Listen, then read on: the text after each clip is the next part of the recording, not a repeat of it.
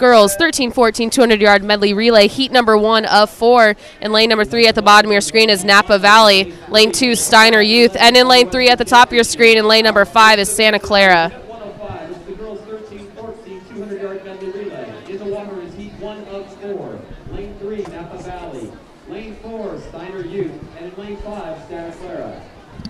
this is the 200 medley relay so it's a 50 of each stroke out front in lane number three is napa valley after the 50 back stroke leg out in a 29 51 followed by lane four Stein, steiner youth with a 30.29 And just like the 400 medley on day number one, Tiffany, it's always fun to watch these 200 medleys because each team brings their own strengths. Each teams have their own superstars, and there's a lot of back and forth when it comes to the lead in these medley relays. the the relays, especially here at Far Westerns, are very unpredictable. Like in that four x one hundred last night, we saw the the boys relay well out in front by body lengths, It and the, the anchor Pleasanton relay and the anchor leg was able to make up the distance and some for the victory.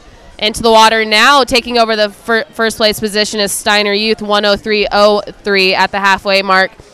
Now followed by Napa Valley and then Santa Clara up there on the top of your screen in lane five.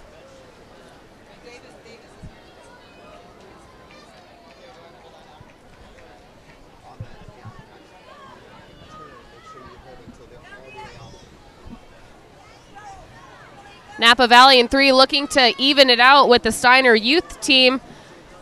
It was actually the touch went to Santa Clara, so another change in leadership. The anchor leg is in the water. Santa Clara out front.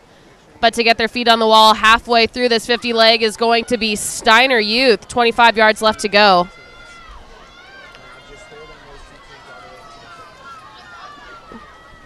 Looks like Steiner Youth in the middle of the pool with the edge. They're going to get the touch here in heat number one, unofficially 158.86, followed by Napa Valley in three, 159.89, and in five, Santa Clara 201.18.